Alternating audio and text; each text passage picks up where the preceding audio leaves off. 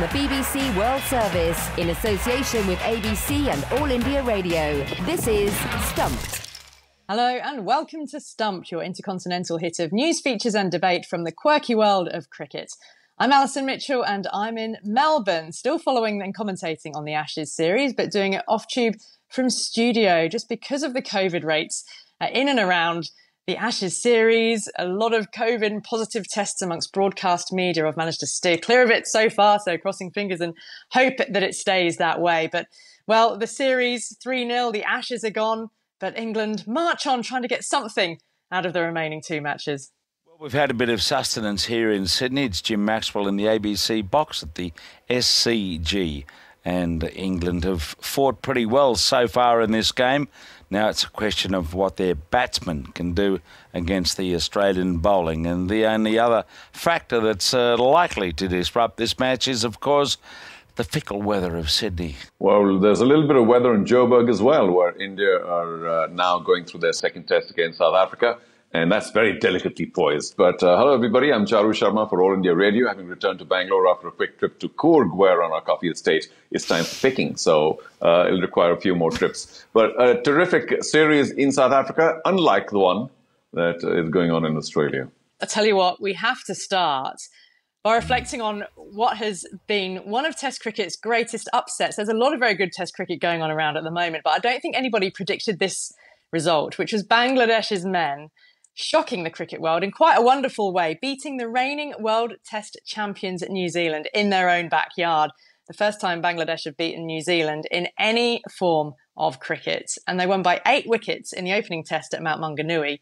Quite an achievement. And other than victories over Zimbabwe, it's Bangladesh's first test victory since 2018 when they beat the West Indies. Added to that, it's the first test that New Zealand have lost at home since March 2017 when they lost out to South Africa. Well, how has this victory gone down back in Bangladesh? I'm pleased to say that we are joined by former Bangladesh opener Shahriar Nafees. Just give us a bit of context about just how significant the win is for Bangladesh and then the way it's been received at home.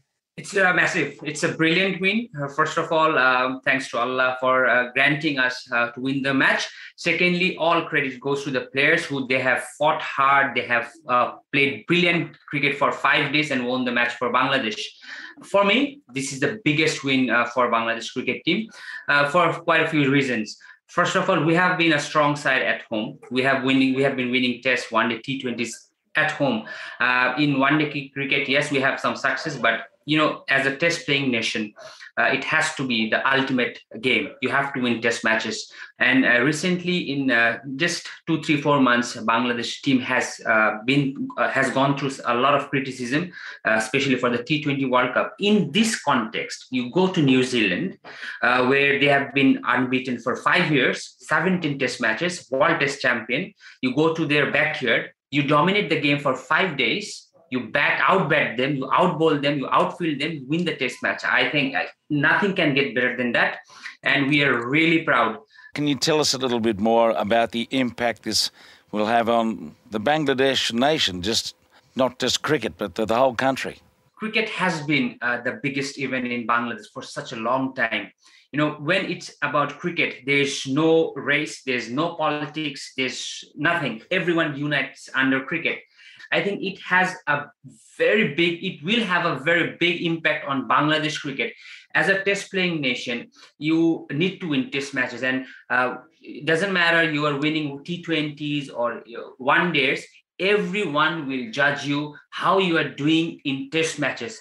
And what a place to start with. New Zealand, I'm seriously speaking, this will help Bangladesh cricket grow in a big manner. Because you know sometimes what happens if you uh, look back james when we won against australia in 2005 england that had a huge impact on bangladesh cricket. And we went to 2007 world cup and uh, played the second round. You know if you look back in 2015 we were in the quarterfinals. 2017 we were in the champions league semifinals. So these kind of matches are kind of footstep for you to go upwards. And i'm pretty sure and i truly believe this will give Bangladesh the positive momentum that Bangladesh needed. And uh, I, I'm, I'm pretty sure that the boys will grab it in both hands.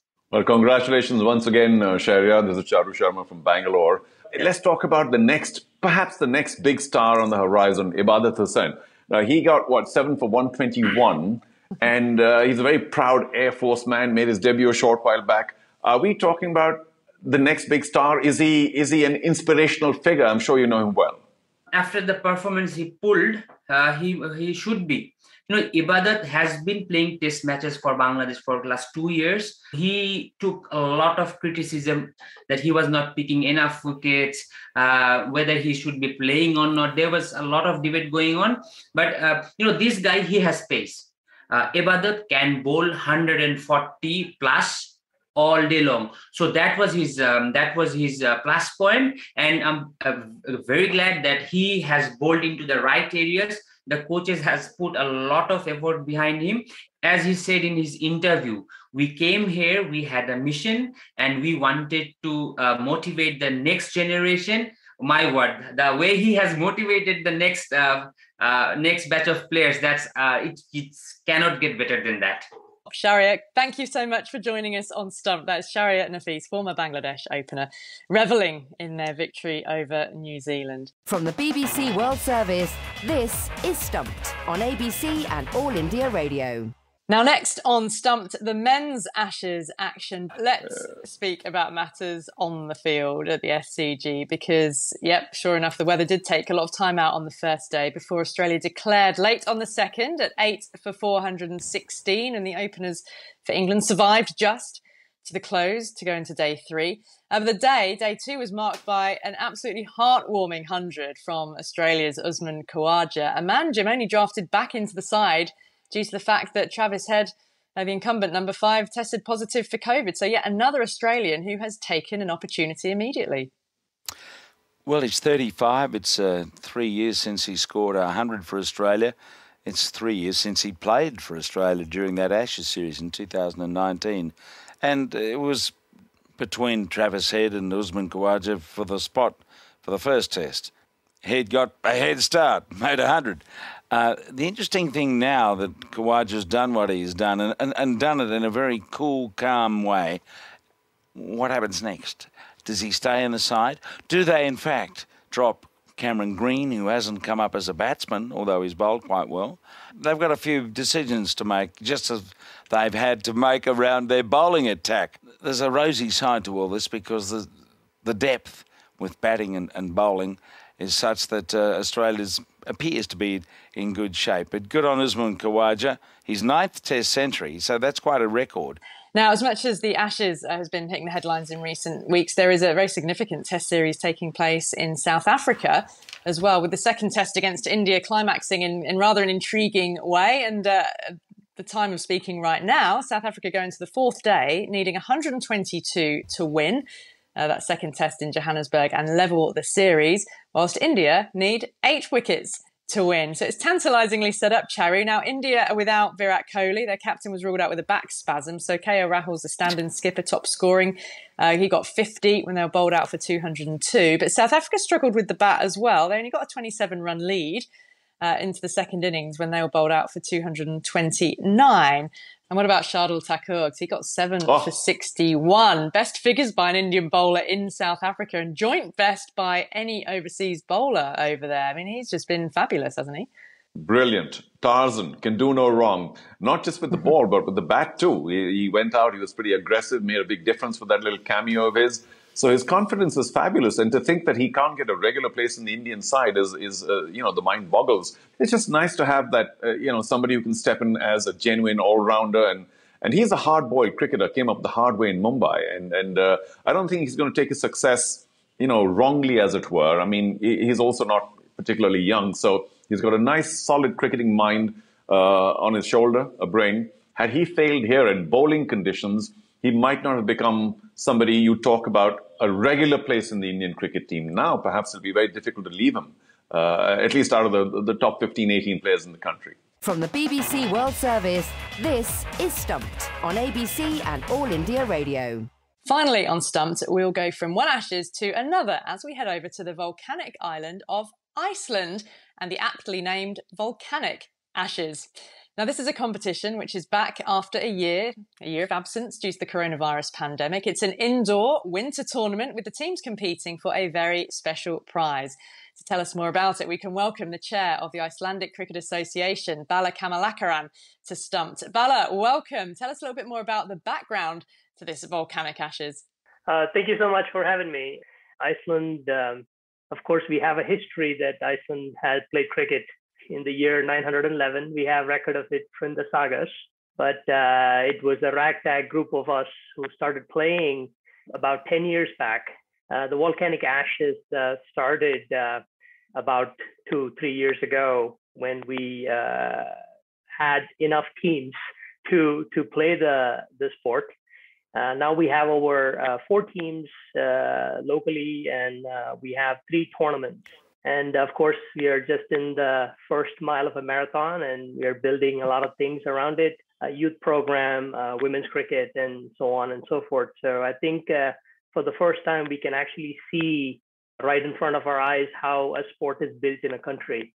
So the tournament is called the Volcanic Ashes. Describe what the trophy looks like. Well, actually, uh, we do have the, the new volcano that just came out about uh, a year back, and we have uh, we have, we're probably the only country where we can get new ash every time we play the tournament.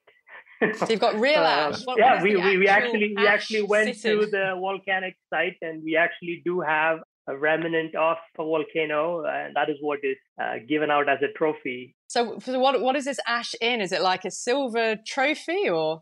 No, it's just a rock with a with a with a plate on it. So it's a, pe- a piece of volcanic ash like granite. Yes. And that's presented. I, I, like it. I mean, there's a lot of fancy cricket trophies around the world. I particularly like that one. No, no, no. You know, you don't get much fancier than this because uh, it's how nature made it. Bala, hello. It's Jim Maxwell in, in Sydney. Uh, I, have been to Iceland and it's a pretty short summer from recollection. So tell us a bit more about the cricket scene in Iceland. Have you had much interest from the locals? Wanting to play the game? Yes, uh, the summer season in Iceland is about four and a half months, but we have the advantage of uh, 24 hour lighting. So we get to play a lot longer during the day. So we don't stop uh, from uh, nine to uh, five. We usually play from nine to nine. So that's uh, that kind of is like maybe another month you could add to the season. Iceland sport has been getting a lot more popular in Iceland, primarily because one, we have a lot more expats who have moved into Iceland, uh, a lot of new industries that are being built, people from India, from South Africa, from uh, New Zealand, Australia, Bangladesh, Pakistan, Sri Lanka, Afghanistan have uh, moved in.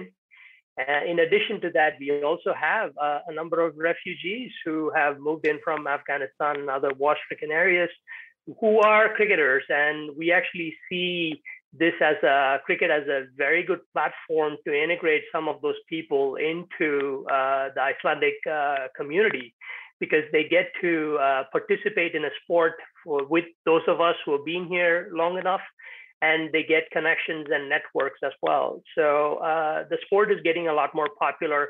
We now have a dedicated uh, home of cricket. Uh, we play in Víðistaðatún, which is a ground in, in a town of Hafnarfjörður. Uh, the Prime Minister of Iceland came and inaugurated the ground and, and we play there and we are building infrastructure. And while we play, uh, we start to see uh, curious Icelanders stop by while they're walking and they start asking what this is. Icelanders are uh, quite well uh, worldly. They've traveled a lot. They've been to Australia. A lot of my friends actually have watched cricket in Australia and uh, they they're really fondly looking for us to start uh, the tradition of uh, a barbecue and uh, drinking beer and watching the sport. So so those are some of the plans that we have uh, as we build the sport in Iceland. You know, you talk about 50, 100 people, 1,000, they're big numbers for a small country, but to be able to get international status from the ICC, I can't even begin to understand what a big challenge that must be for you. Absolutely. We want Iceland to become a cricket playing nation. Uh, our big uh, vision document that we wrote down was in the next 10 years, Iceland will uh, be competing in the international stage. And I think that is a very doable uh, challenge. So we've started on that journey. And uh, the big challenge uh, initially when we started was just enough people, you know, just having more people to play the sport. And uh, we have solved that problem now. And now we're starting to build up infrastructure. Now we have a home for cricket. So we're starting to build some of the things that we need to have you know basic stuff you know uh, proper pitches uh, you know uh, obviously we have regular games now that uh, changes everything and uh, we're getting a lot of support from the local community and last but not least end of the day it's all comes down to resources and we are we we actually solved that problem last year we got the first corporate sponsor a very big biotech company in iceland called alvotech has uh, sponsored one of the teams, and uh, a number of the players that have joined us are uh, from that uh, company. So we are actually looking to get more corporates involved in the sport of cricket in Iceland. It's new for Iceland, but uh, as as you uh, know, nobody expected Iceland to do anything in the game of football. But you know, they proved a lot of people wrong in the last couple of years, and I think. Um, uh, size usually doesn't matter. What really matters is the 11 players on the field and what they do on the field. I think we have a pretty good chance to, you know, build a kind of a underdog team that can actually go and stand its own in any place. Let's hope so. Let's yeah. hope so, Bala. It's fascinating to speak to you and, and hear the story. Thank you for sharing it with us. And let's hope any bad weather stays away from the volcanic ashes and, and you can complete it all. Thanks so much for being with us on Stump. Thanks so much. Uh, nice meeting you all. And, uh, you know, and as we say from Iceland, you know, you've seen nothing yet. that is a good mantra. Well, that's all we've got time for on this week's Stumped here on All India Radio. Don't forget you can follow us on Twitter. We're at BBCWS Sport. Make sure you use the hashtag BBC Stumped and check us out on YouTube as well. Go to BBC World Service on YouTube. My thanks to Charu Sharma and Jim Maxwell, and to you for listening. We'll see you again next time. Bye bye. Stumped is a BBC sport production for the BBC World Service in association with the Australian Broadcasting Corporation and All India Radio.